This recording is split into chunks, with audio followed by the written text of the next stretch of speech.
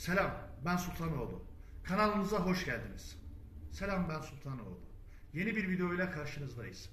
Bugünkü konumuz iki zamanlı motorlarda benzin yağ karışımı doğru bir şekilde nasıl yapılır bu konu üzerinde olacaktır.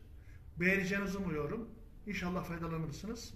Buyurun başlayalım. Selamünaleyküm arkadaşlar. Bugün iki zamanlı motorlar nasıl çalıştırılır onu anlatacağız inşallah. Onu anlatmadan önce benzinin nasıl karıştırıldığını anlatacağız.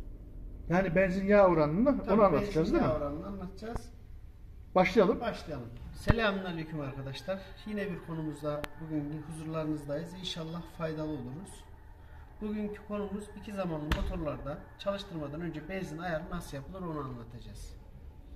İki zamanlı motorlar bildiğiniz gibi iki zamanlı yağ kullanıyor sadece. 2T diye yazar. Bunu ayarlarken kapak ayarı falan öyle şeyler e, pek kullanmazsanız daha iyi olur.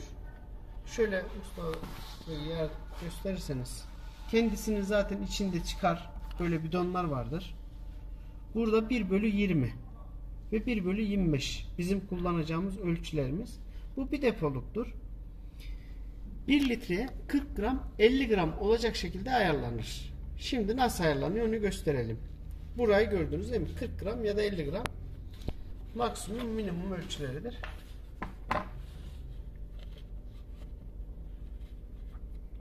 Benzeri koyuyoruz önce. Tabii benzinimizi koyalım inşallah.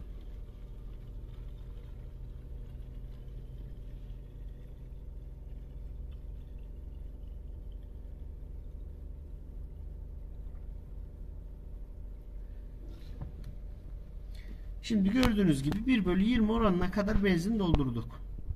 Kalan yerimize de iki zamanlı yağımızı koyacağız.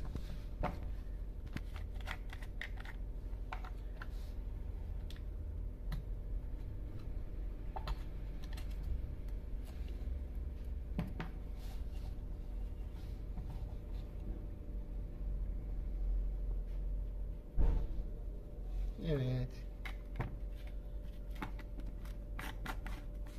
Kapatalım da dökülmesin.